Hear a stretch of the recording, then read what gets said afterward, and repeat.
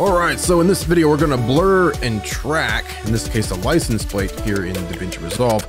Super quick, super easy to do. So let's go ahead and get started with this. So to do this, we're gonna head over to the color page, make sure our clip is selected. So right now, since we're gonna start from the very beginning, select those and get rid of those nodes. Alt S, give me a brand new node right there. All right, so the first thing we need to do is draw a selection around what we want to blur.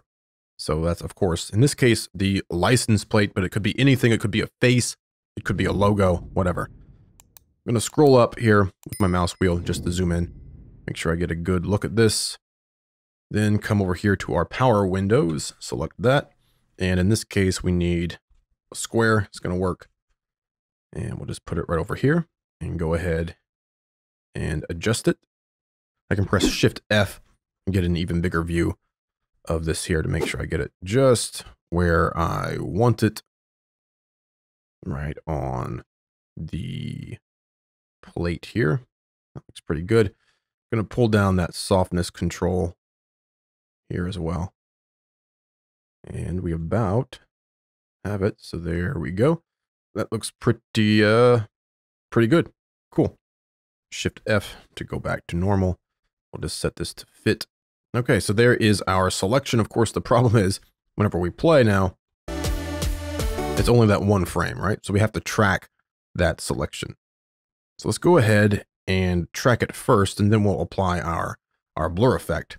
So head over here to our tracker, and we have pan, tilt, zoom, rotate, and 3D on in this case. You may not need all of those trackers, but uh, we do because of the uh, movements of this car, as you can see. All right, so we'll start it right on that frame, and we're going to track forward. Boom, and there it goes. So just let that finish. And right there, the tracker stopped because it's lost uh, it's lost uh, the uh, position, of course, because it goes out of uh, out of frame anyway, and we can't see that license plate at that point anyway.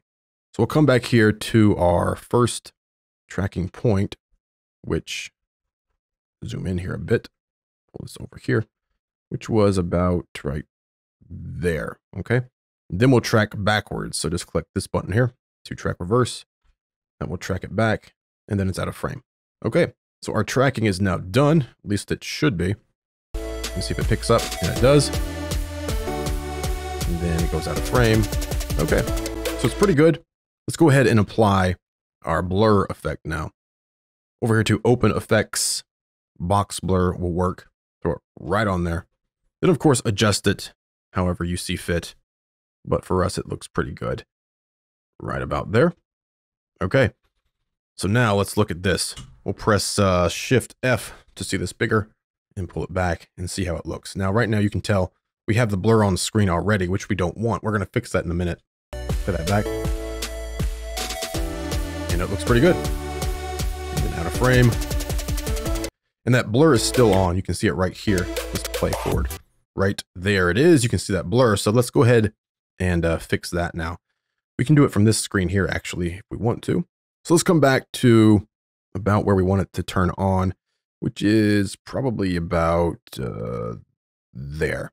So this frame right here, make sure our open effects are open.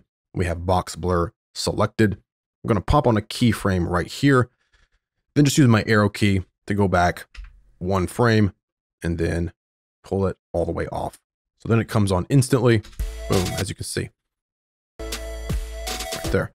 So if that's too much, control Z, control Z out of that. And what we'll do is make sure it's on right about here. Again, keyframe it. I'm going to step back one, two, three, maybe four frames, and then keyframe that. So then it's going to sort of fade on. There we go good. But of course we have the problem right there of where we lose the track because we don't even need it at this point right here. Now we can fix this a little bit if we need to. We turn on our power window overlay.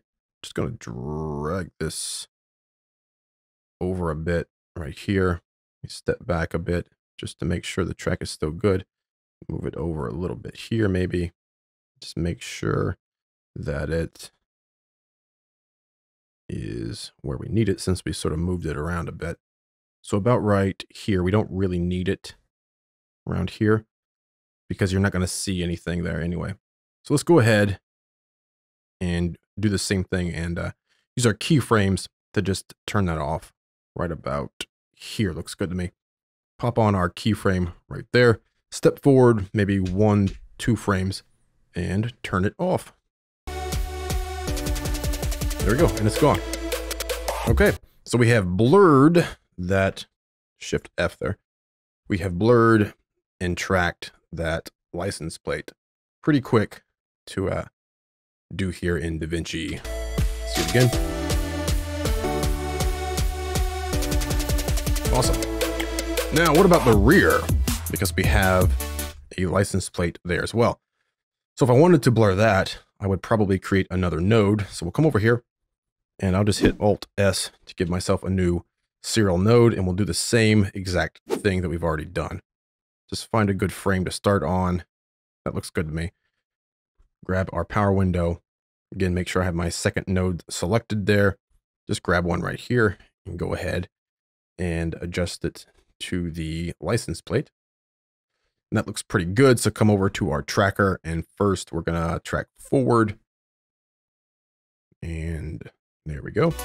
And then we're going to track from about here and then track in reverse. Track it back and it's gone. Okay, cool. So same thing here. Go and grab my box blur, throw it right on there. Cool. And look at that real quick. All right, perfect track. Looks great. Of course, you can see here, it's still on screen right there. So we'll do the same thing that we did uh, previously. Let's head back here. Let me go to uh, Shift F, get this uh, bigger here. Open my open effects and we'll go ahead and take this back. So we don't need it until about right there, right? So go ahead and pop on that keyframe there. I'll go back one, maybe two frames and then turn it off. So let's look at that fade in. Perfect. For the end, we don't need it about there. So make sure I have my keyframe here, head forward one frame, maybe two frames, and then turn it off. And we should have a pretty perfect look now. Comes in, fades on, tracks the entire way, and now it's gone. Second tracker and blur right there, and then it's out and it's gone. Okay, pretty simple, pretty uh, easy to do there. Shift F again to go back. All right.